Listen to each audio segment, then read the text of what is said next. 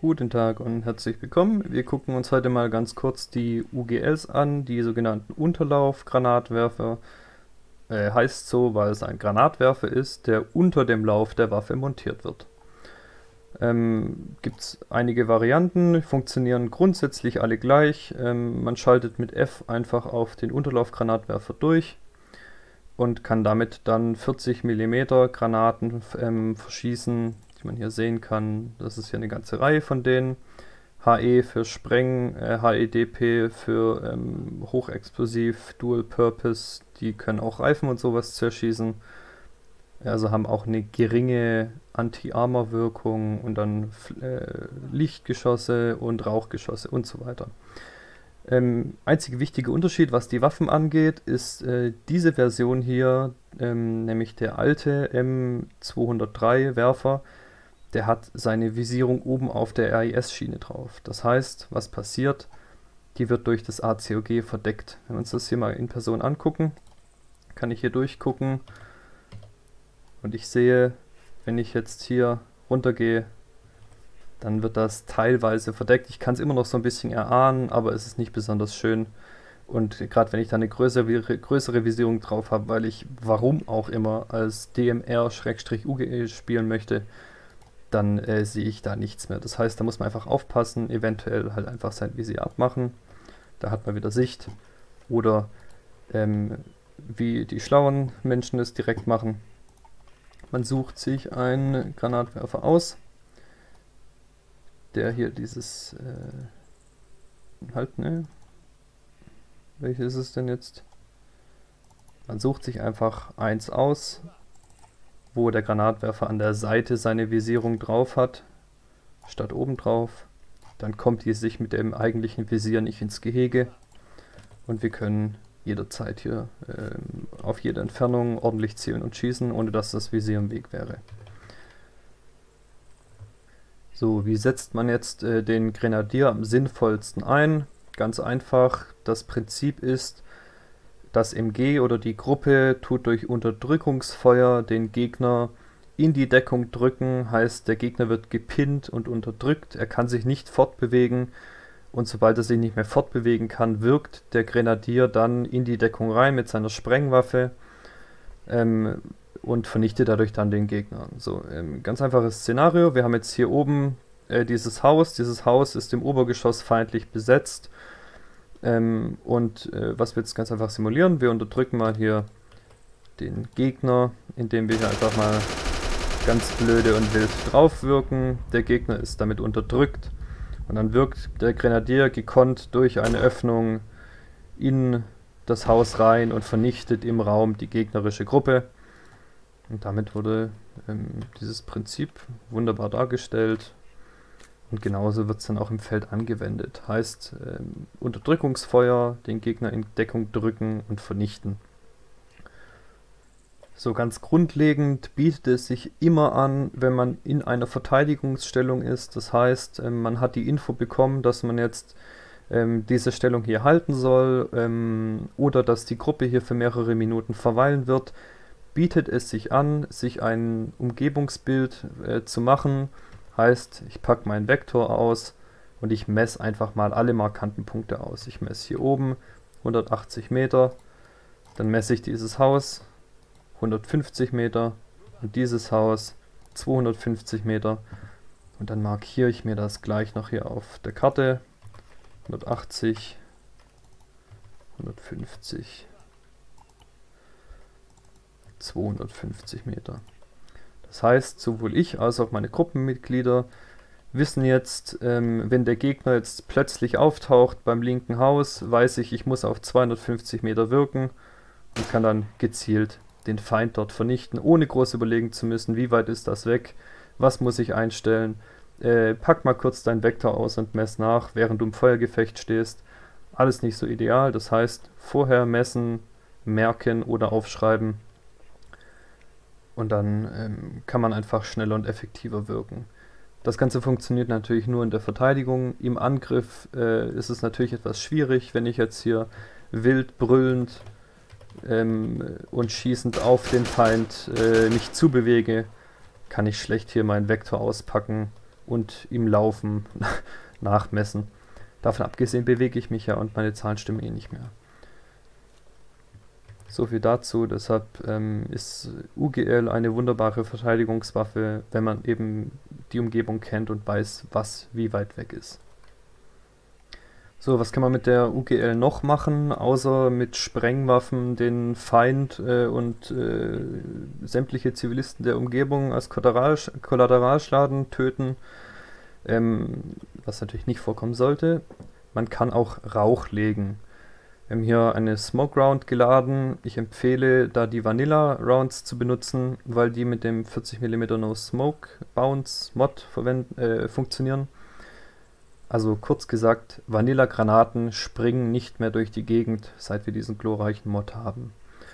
Sondern bleiben genau da im Boden stecken, wo man sie hinschießt und äh, lassen sich nicht mehr irritieren von der seltsamen Armor-Physik.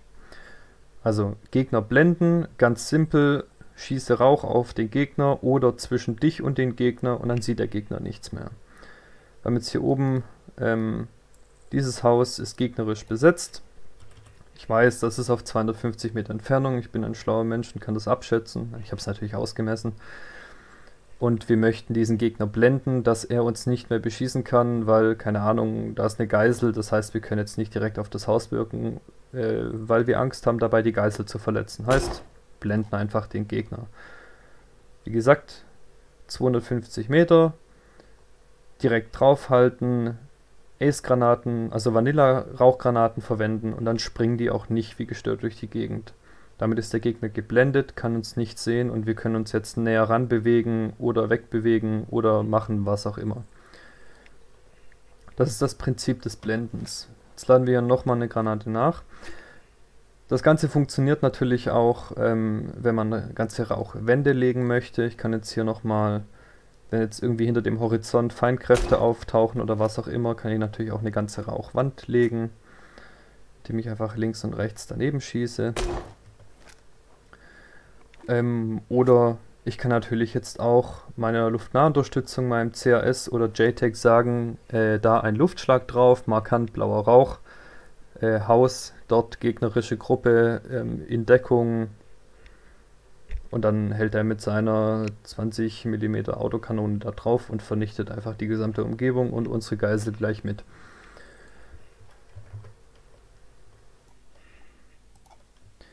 Wenn wir jetzt hier mal vergleichen, äh, hier blaue Vanilla-Rauchgranate, einfach daran zu erkennen, dass sie keine weitere Bezeichnung trägt. Ähm, einfach nur Smoke Ground Blue für Smoke Ground White und die ganzen anderen Farben gibt es das natürlich auch. Wenn wir das jetzt mal vergleichen mit den RHS-Granaten, die tragen hier vorne diese M715 oder andere Bezeichnungen, habe ich jetzt hier mal geladen. Blau, Vanilla springt überhaupt nicht, 100 Meter Entfernung. Äh, wir laden jetzt, wir wollen jetzt diese Gegnergruppe blenden und schießen jetzt mal hier grünen Rauch drauf und wir sehen, der landet irgendwo in der Gegend, aber nicht da, wo er sollte. Da hier die Arma-Physik wieder uns einen Strich durch die Rechnung macht, und äh, unser 40 mm No Bounce Mod leider nicht für RHS-Granaten wirkt. Der wirkt nur für Vanilla und ich glaube für Cup. Deshalb möglichst nur Vanilla-Granaten verwenden. Die funktionieren genauso schön. Das, der einzige Unterschied ist wirklich, dass sie nicht diese M715-Bezeichnung tragen und man eben präzise damit Rauch legen kann, im Gegensatz zu RHS. So ganz grundlegend bietet es sich immer an, wenn man in einer Verteidigungsstellung ist. Das heißt, ähm, man hat die Info bekommen, dass man jetzt ähm, diese Stellung hier halten soll ähm, oder dass die Gruppe hier für mehrere Minuten verweilen wird. Bietet es sich an, sich ein Umgebungsbild äh, zu machen. Heißt, ich packe meinen Vektor aus und ich messe einfach mal alle markanten Punkte aus. Ich messe hier oben 180 Meter, dann messe ich dieses Haus 150 Meter und dieses Haus 250 Meter. Und dann markiere ich mir das gleich noch hier auf der Karte. 180, 150, 250 Meter. Das heißt, sowohl ich als auch meine Gruppenmitglieder wissen jetzt, ähm, wenn der Gegner jetzt plötzlich auftaucht beim linken Haus, weiß ich, ich muss auf 250 Meter wirken und kann dann gezielt den Feind dort vernichten, ohne groß überlegen zu müssen, wie weit ist das weg, was muss ich einstellen. Äh, pack mal kurz deinen Vektor aus und mess nach, während du im Feuergefecht stehst. Alles nicht so ideal, das heißt vorher messen, merken oder aufschreiben und dann ähm, kann man einfach schneller und effektiver wirken. Das Ganze funktioniert natürlich nur in der Verteidigung. Im Angriff äh, ist es natürlich etwas schwierig, wenn ich jetzt hier wild brüllend ähm, und schießend auf den Feind äh, mich zubewege, kann ich schlecht hier meinen Vektor auspacken und im Laufen nachmessen. Davon abgesehen bewege ich mich ja und meine Zahlen stimmen eh nicht mehr. So viel dazu. Deshalb ähm, ist UGL eine wunderbare Verteidigungswaffe, wenn man eben die Umgebung kennt und weiß, was wie weit weg ist. Eine weitere Fähigkeit des UGS ist die Gefechtsbildbeleuchtung mit sogenannten Flares. Ähm, ich habe hier eine 3-Round-Flare äh, geladen. Das ist erstmal egal, von welchem Mod man die nimmt. Ähm, Achtung, aufpassen, wenn ich jetzt hier auf 100 Meter drauf halte, die bleiben nicht im Boden stecken. Heißt, ich äh, schieße jetzt hier drauf, man wird es nicht sehen können, aber sie prallt ab und fliegt irgendwo hinten in die Gegend. Oder auch nicht. Aber sie ist jedenfalls nicht da gelandet, wo ich hingeschossen habe. Ähm, davon abgesehen möchte man eigentlich sowieso nicht, dass die im Boden stecken und dann vor sich hin blinken. Äh, sieht nämlich sehr nervig aus tatsächlich und man sieht auch nicht besonders viel, sondern man möchte, dass sie ähm, äh, etwas überhalb vom Boden, wenn wir jetzt mal, na komm, wunderbar, wir möchten dieses Haus beleuchten, es ist auf 250 Meter Entfernung. Ähm, und äh, dann möchten wir natürlich nicht die Flare hier direkt in den Boden reinschießen, sondern überhalb davon. Und äh, die hat einen kleinen Fallschirm eingebaut und sinkt dann hier langsam zu Boden und leuchtet dabei das Ganze aus. Heißt, ich schieße jetzt mal hier auf 250 Meter Entfernung, oder machen wir, ja, machen wir mal 200. Einfach etwas drüber. Dann gucken wir mal, was passiert. Und dann sehen wir, das Ganze hier ist runtergegangen und solange das runterfällt, ähm, wird auch das Gefechtsfeld ganz gut beleuchtet. Noch einen wichtigen Terminus, also ein Fachwort, das man kennen sollte, ist Fächerschießen. Fächerschießen bedeutet, dass man ein oder mehrere Grenadiere hat, die Gefechtsfeldbeleuchtung besitzen, heißt Flares schießen können. Und ähm, der Begriff Fächerschießen beschreibt ganz einfach, dass ähm, immer eine Flare gerade in der, in der Luft ist, um das Ziel zu beleuchten.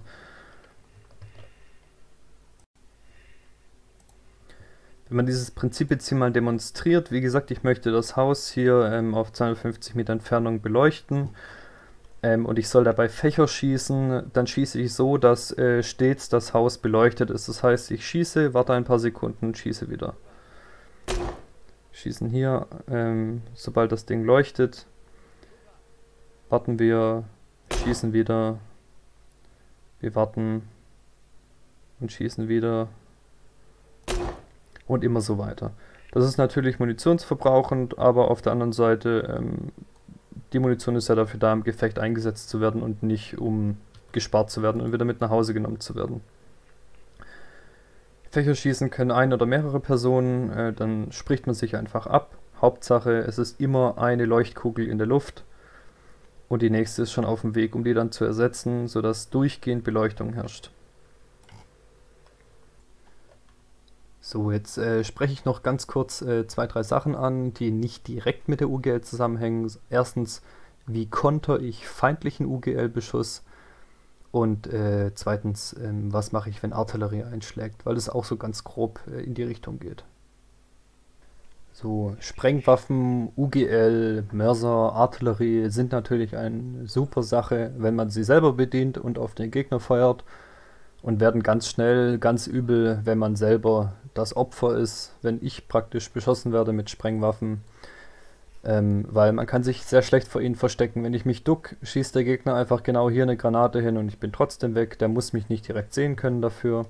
So wie zum Beispiel, wenn ich weiß, hinter diesem Haus befinden sich Gegner, dann kann ich da Granaten links und rechts ranschießen und ähm, okay, hätte ich äh, etwas besser schießen können. Und dann werden die natürlich trotzdem getroffen von Spreng- und Splitterwirkung. Das heißt, was kann ich denn machen, wenn ich unter Sprengwaffenbeschuss stehe?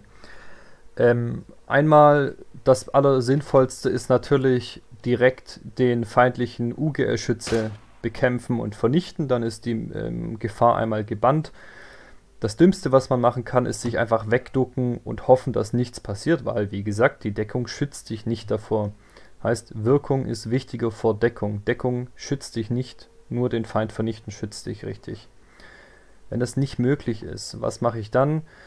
Ähm, dann ist die einzige andere Möglichkeit, die Position so schnell wie möglich zu verlegen, weil der feindliche UGL-Schütze muss ja wissen, wo ich bin, um mich treffen zu können, um mich beschießen zu können.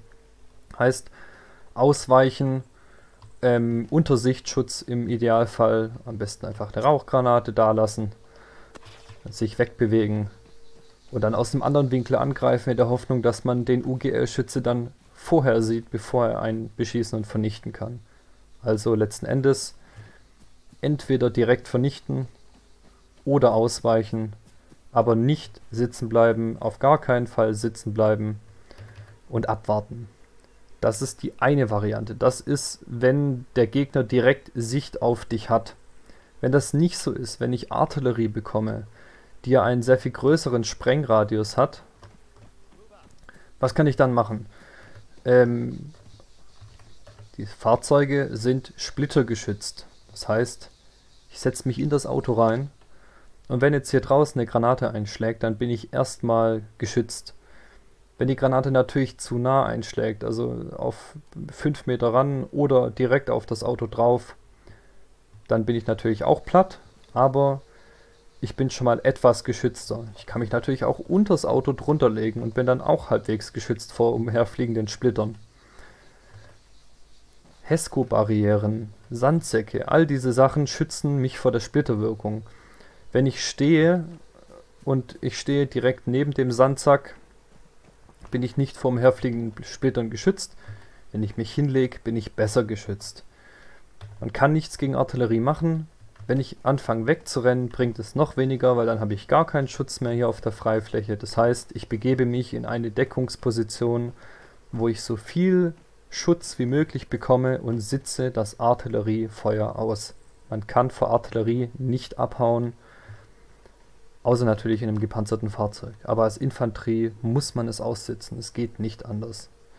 Und natürlich mit möglichst viel Abstand zu seinen Gruppenmitgliedern, dass wenn eine Granate doch mal ihr Ziel findet, nicht alle auf einmal draufgehen.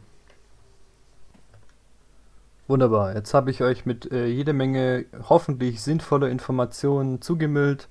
Ich hoffe, ihr konntet ein wenig mitnehmen und ich hoffe, dass jetzt in Zukunft die UGL-Schützen wissen, wie sie zielen müssen, wie sie schießen müssen und dann auch den Gegner treffen können und nicht eigene Kräfte gefährden oder eben nicht wirken können. Dann wünsche ich euch noch einen schönen Tag und äh, wir sehen uns in der nächsten Mission.